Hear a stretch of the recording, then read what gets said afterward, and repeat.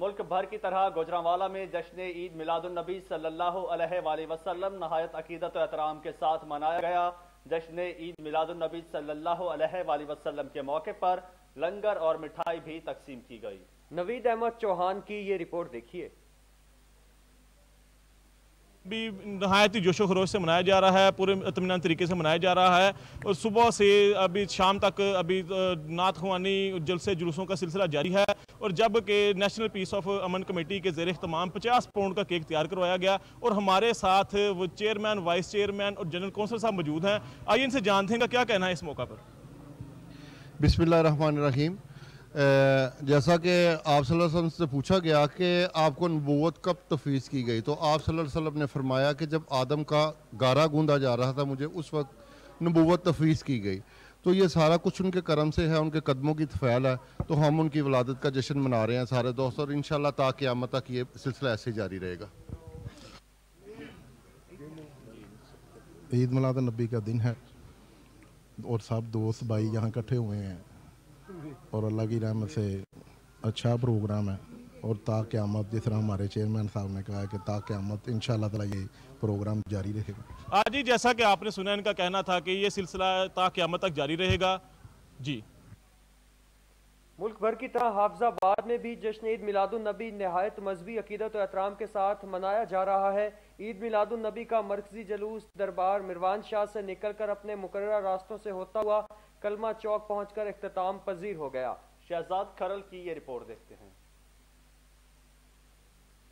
तरह हफ्जाबाद, पिंडी भटिया में भी जिसने ईद मिलाद नबी भरपूर जोश और खरोश के साथ मनाया जा रहा है। मसाजिद, घरों, बाजारों और दुकानों को बरकी कम कमों से सजाया गया है।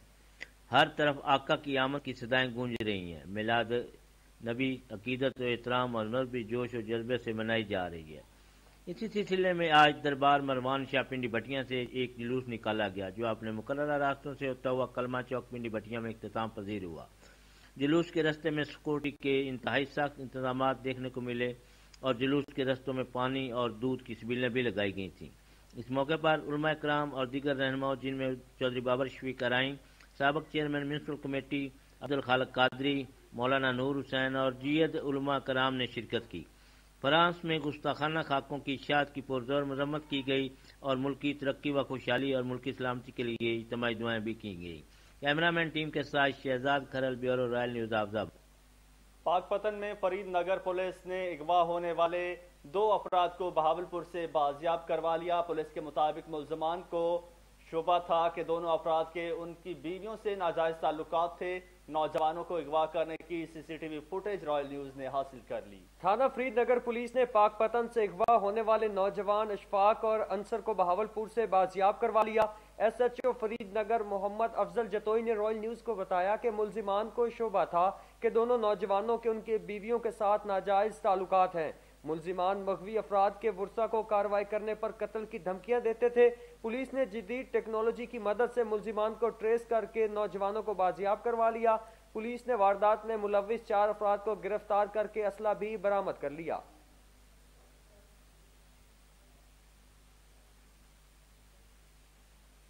रुक करते हैं लालिया का, जहाँ पर अड्डा शेखन सेवरेज के नाकिस इंतज़ाम मकीनों के लिए बवाले जान बन चुके हैं।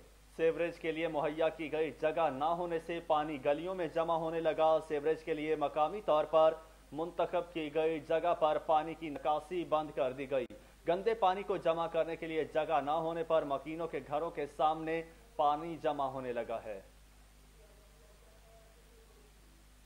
तांदलेवाला के चक नंबर 623 गाफबे में मुजरे सेहत दूध बनाने वाली फैक्ट्री का मामला, थानागढ़ पुलिस ने मुलजमान अली अकबर और नदीम को गिरफ़्तार कर लिया। एसपी सदर राना मोहम्मद अशरफ की डीएसपी और एसएचओ गढ़ के हमरा प्रेस कॉन्फ्रेंस, जाली दूध बनाने वाले मकरू धंधा में मुलविस मुलजिमान तस्वर बाकिर ज़फ़र और इकबाल की गिरफ्तारी के लिए छापे जारी है। फैक्ट्री से चार हज़ार दो सौ पचास किलोग्राम सुकम मिल्क पाउडर, पाँच सौ किलोग्राम वे पाउडर दो लीटर गैर मैारी कुकिंग ऑयल बरामद किया गया। 120 किलोग्राम सोडियम साइट्रेट 15 केमिकल भी बरामद हुए। सीएमसी किलो किया गया। तैयारशुदा मुजरे सेहत, दूध को पंजाब फ़ूड अथॉरिटी टीम के हमरा जाया कर दिया गया और फैक्ट्री में दूध बनाने वाला सामान और ऑयल टैंकर और जो दूसरी चीज़ें थी, उनको अपने कब्जे में ले लिया गया।